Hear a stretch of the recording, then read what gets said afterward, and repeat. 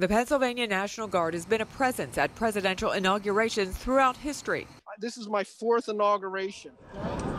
In the wake of the deadly riot at the U.S. Capitol, its role is heightened this year, with security on high alert. The difference between uh, the, the past inaugurations for me is uh, the, uh, the, the fact that we're armed. More than 2,000 Pennsylvania Guard members are providing communication support, traffic control, and food distribution to soldiers on the ground. We're pushing about anywhere from 10 to 20,000 meals out per per lunch. Sergeant Nicholas Nolan is working out of the D.C. Armory. He says residents have been welcoming.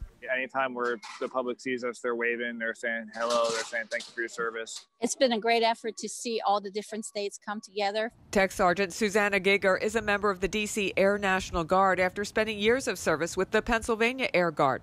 Between the pandemic, police, and military presence, this inauguration won't have the same pomp and pageantry the security is so tight, it's almost impossible to drive through D.C. right now. Master Sergeant George Roach says he's glad to be part of ensuring the peaceful transition of power. I'm proud to be part of this mission because it, it is literally a, a result of uh, all our hard training and all, all our years of experience. Even Guard members not providing security around the U.S. Capitol have gone through a screening process. Barbara Barr, WGAL News 8.